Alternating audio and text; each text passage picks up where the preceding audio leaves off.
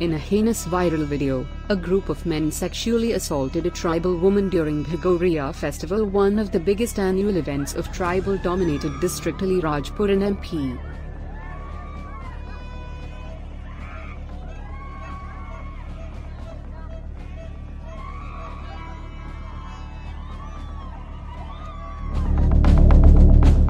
It appears the woman is unwell during the attack by these men.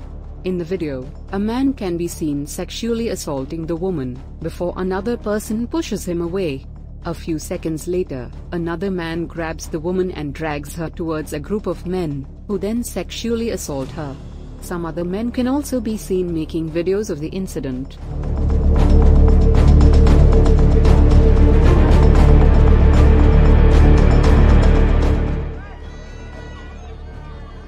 The police have booked the arrested persons under sections 354A, assault or criminal force to woman with intent to outrage her modesty, and 34A, acts done by several persons in furtherance of common intention, of the Indian Penal Code.